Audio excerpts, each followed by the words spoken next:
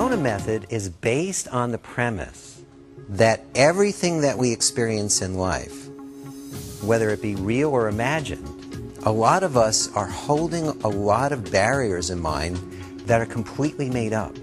All those things that we think we need to fix and change, that isn't who we are. That's who we're not. And because it isn't who we are, we can let it go. By the way, if you're here because you want to suffer and you want to effort and you want to make it difficult, you should probably leave now. One of the challenges when I present information about the Sedona method that something so profound and something so powerful could be this simple and this easy.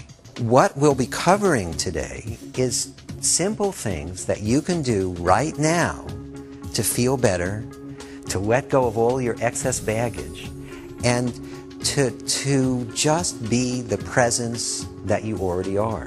Most of us think life is work. Not just work is work, but life is work.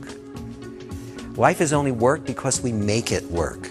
It doesn't have to be hard work to be alive. This whole process was inspired by a man named Lester Levinson, a physicist engineer who back in 1952 was sent home to die from a second coronary.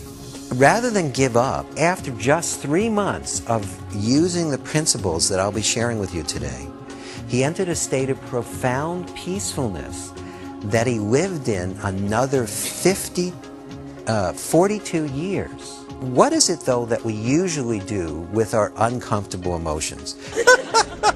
Yes, we definitely stuff our emotions. Sometimes we literally fall in love with our suffering.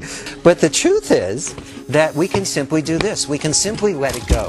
You really can let go of any emotion.